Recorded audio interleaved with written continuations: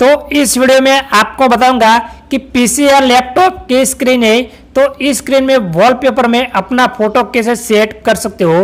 Hello guys आप देख रहे हमारे यूट्यूब चैनल कौन से टेक्नोलॉजी में गाइस आपका स्वागत है। तो चलिए इस वीडियो को हमें स्टार्ट करते हैं। वीडियो स्टार्ट करने से गाइस अभी तक हमारे यूट्यूब चैनल को सब्सक्राइब नहीं किया है तो अभी सब्सक्राइब कीजिए और बेल आइकन पर क्लिक कीजिए, जाते हमारा न्यू वीडियो सबसे पहले देख पाएँगे। तो चले गए इस वीडियो को हमें स्टार्ट करते हैं। तो गैस आपको आ जाना है पीसी या लैपटॉप की स्क्रीन पे। तो गैस मैंने पीसी को ऑन कर दिया है और ऑन करने के बाद चलिए मैं अपना फ़ोटो आपको कैसे सेट करना है वॉलपेपर में। तो गैस मैं आपको बता देता हूँ।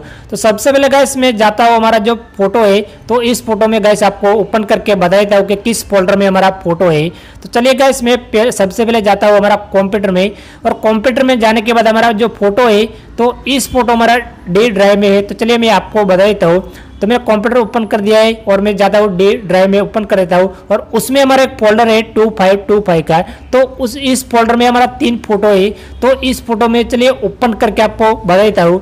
तो गैस इस फ़ोटो मैंने ओपन कर दिया है। तो इस फ़ोटो में वॉलपेपर में सेट करके आपको बता देता हूँ। तो चलिए मैं फ़र्स्ट में आपको क्लोज कर देता हूँ और क्लोज करने के बाद आपको जो वॉलपेपर में आपको फ़ोटो सेट करना है तो आपको आ जाना है डेस्कटॉप की स्क्रीन पे और स्क्रीन पे आने के बाद आपको माउस से राइट साइड क्लिक कर देना है। तो चलिए मैं माउस से राइट साइड क्लिक कर देता हूँ और क्लिक करने के बाद आपको पर्सनलाइज पे क्लिक कर देना है तो आपको जाना है पर्सनलाइज पे क्लिक कर देना है और क्लिक करने के बाद आपको जाना है डेस्कटॉप बैकग्राउंड पे क्लिक कर देना है। तो चलिए आपको नीचे देखने को मिल जाएँगे डेस्कटॉप बैकग्राउंड तो गैस उसमें आपको क्लिक कर देना है और डेस्कटॉप बैकग्राउंड पे क्लिक करने के बाद आपको जो हमने जो सिलेक्ट किया है विंडो सेवन की जो थीम्स है तो उसमें मैंने सिलेक्ट किया है। तो आप गैस देख सकते हैं कि हमारा जो विंडोज़ सेवन की जो सिस्टम है तो उसमें जो वॉलपेपर आता है, वही हमने सिलेक्ट करके रखा है। तो आपको इस तरह टिक कर देना है और टिक करने के बाद आपको जाना है ब्राउज़र पे क्लिक कर देना है। तो गैस मैंने ब्राउज़र पे क्लिक कर देता हूँ और क्लिक करने के बाद आपको जिस फोल्डर में आपका आपका फ़ोटो है, इस फोल्डर में जाना है। तो चलिए मैं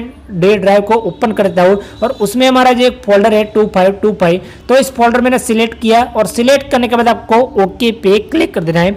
तो गाइस हमने ओके पे क्लिक कर दिया। तो इस तरह आपको फोल्डर सिलेक्ट करने के बाद ओके पे क्लिक कर देना है। तो इस फोल्डर में हमारा तीन फ़ोटो था।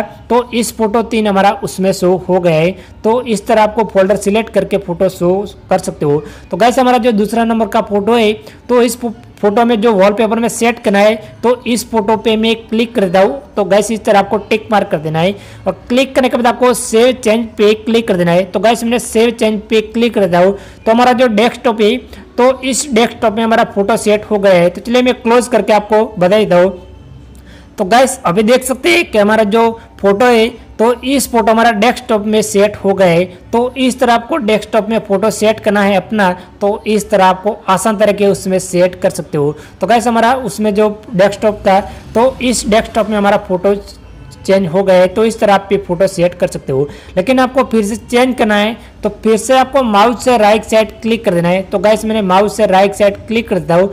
राइट साइड क्लिक करने के बाद आपको पर्सनलाइज पे क्लिक कर देना है। और क्लिक करने के बाद आपको विंडो सेवन की जो थीम्स है, उसमें आपको क्लिक कर देना है। तो चलिए, ऊपर साइड में आपको देखने को मिल जाएँगे विंडो सेवन के थीम्स है। तो उसमें मैंने क्लिक कर दिया। तो गैस हमारा जो थीम से तो इस थीम से हमारा डेस्कटॉप में सेट हो रहा है तो प्लीज़ वेट आपको करना है। तो हमारा जो डेस्कटॉप था तो इस डेस्कटॉप हमारा चेंज हो गया है। तो आप भी देख सकते हैं कि हमारा जो डेस्कटॉप था तो उसमें जो वॉलपेपर चेंज हो गया है। तो इस तरह आपको पीसी या लैपटॉप की स्क्रीन है तो इस स्क्रीन में जो वॉलपेपर आता है तो इस वॉलपेपर में अपना फ़ोटो सेट करना है तो इस तरह आप भी सेट कर सकते हो। तो चले गए आज की वीडियो में इतना ही था। इस वीडियो अच्छी लगी तो लाइक कीजिए और चैनल को सब्सक्राइब कीजिए। Thank you